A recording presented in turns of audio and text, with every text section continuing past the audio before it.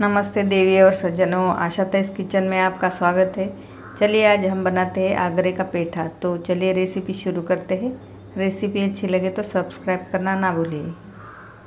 यहाँ पे मैंने एक किलो ये पेठे वाला फल लिया है। जब भी ये पेठा वाला फल लेते हैं तो ये सब पका वाला फल ही लेना है। अभी पेठे के फल के ये अंदर का ये सॉफ्ट भाग निकाल देना है।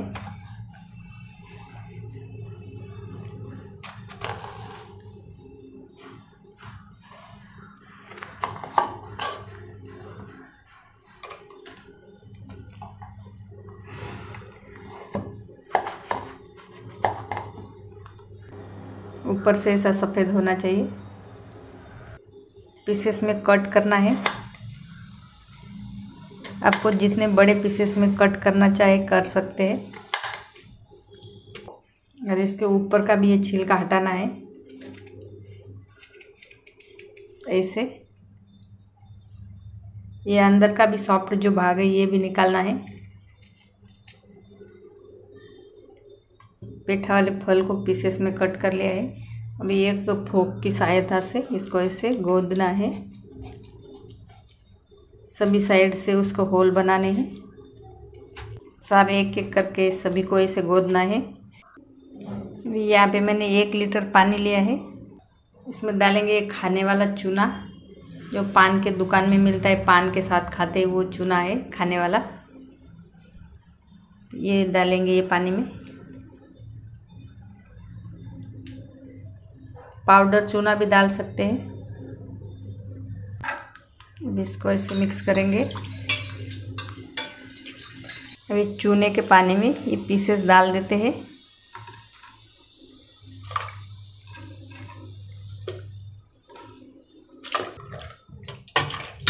ये चूने के पानी में सात आठ घंटे तक ऐसे रहने देते हैं। चलिए सात आठ घंटे हो चुके हैं। चाहे तो आप इसको ओवर नाइट भी रख सकते हैं। अभी इसको पानी से निकाल लेते हैं। देखिए, कलर बहुत वाइट हुआ है। मैंने इसको एक छलनी में निकाल लिया है। अभी नल के नीचे इसको अच्छे से धो लूँगी।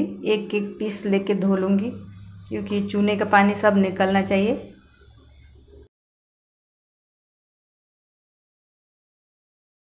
इसको मैंने नल के नीचे अच्छे से धो लिया है। यहाँ पे मैंने एक बर्तन में पानी उबालने के लिए रखा है। पानी अच्छे से उबल गया है, गर्म हो गया है अच्छे से। अभी इसके अंदर ये पीसेस डाल देते हैं।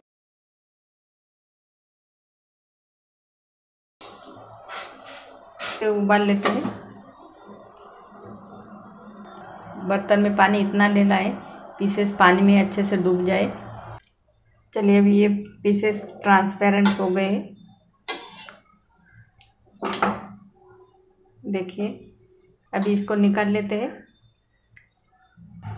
अभी चाशनी बना लेते हैं। उसके लिए मैंने एक कटोरी चीनी ली है।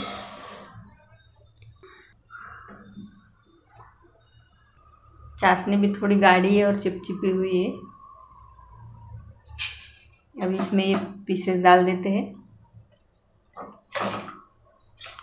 ये पीसेस को तब तक पकाना है। चाशनी एकदम गाढ़ी हो जाए, तब तक पकाना है। देखिए पेठा कैसे ट्रांसपेरेंट सा दिख रहा है। चाशनी भी एकदम गाढ़ी हो चुकी है। पेठे ने भी अपनी सारी चाशनी पी ली है। अभी दो तीन मिनट और पका लेते हैं। चलिए, अभी पेठे को निकाल लेते हैं। प्लेट लिए उसके ऊपर कटोरी रखिए। उसके ऊपर ये होल वाली प्लेट रखेंगे। अब ये प्लेट के ऊपर ये पेठा रख देते हैं। पेठे को फ़ैन के नीचे सुखा लेते हैं सात आठ घंटों के लिए। आप चाहे तो दो तीन दिन भी सुखा सकते हैं। पेठे को सात आठ घंटे के लिए सुखाने के लिए रखा था। अभी सूखने के बाद ये ऐसा हो गया है। देखिए मैं आपको तोड़ के दिखाती हूँ।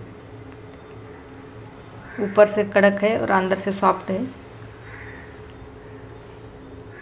देखिए, बहुत ही बढ़िया बना है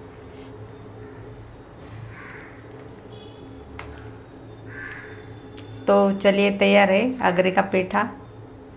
मेरी रेसिपी अच्छी लगे तो लाइक शेयर सब्सक्राइब ज़रूर करना और साथ में बेल आइकन भी दबा लेना। तो चलिए, मिलते एक नई रेसिपी के साथ।